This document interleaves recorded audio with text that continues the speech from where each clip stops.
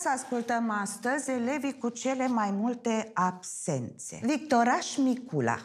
Haideți, doamnă, vă rog eu frumos, doamnă, că și așa am probleme, doamnă, vai de capul meu. Care probleme?